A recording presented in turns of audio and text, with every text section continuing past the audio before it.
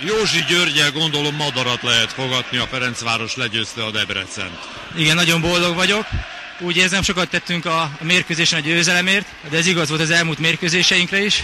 Most örülünk, hogy végre sikerült győzelem elhagyni a pályát. Sok pontot hullajtottunk el így az elmúlt meccseken, de nem adjuk fel, próbálunk zárkózni. Hiszünk magunkban. Egyben óriás ölő lett a Ferencváros, hiszen a videóton Székesfehérvárról győzte le a Debrecen pedig itt. Hát ha így nézzük, akkor igen, de mi is hiszünk magunkban, és hiszünk az elvégzett munkában, hogy ez ki fog jönni, és úgy érzem erősek vagyunk. A 90. percben lőtt góllal nyertétek meg a mérkőzést.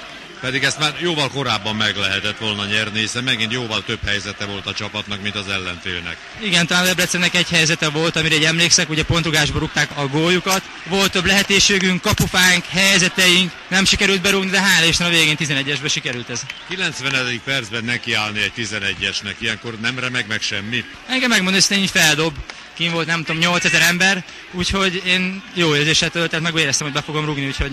Előre elhatároztad, hogy a jobb alsó sarokba küldöd? Nem határoztam, mert láttam a kapus elmegy a másik irányba, úgyhogy a másik irányba választottam.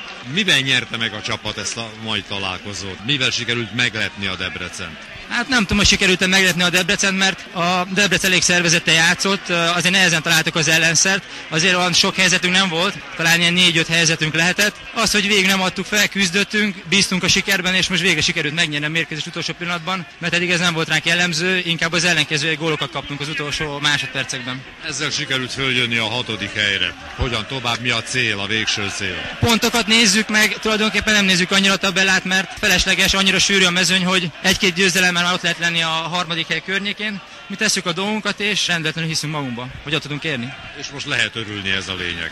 Ez így van, most örülünk, de messze még a vége, most megyünk a posfára, úgyhogy megvannak a feladatok. Józsi Györgyel Novotné Zoltán beszélgetett.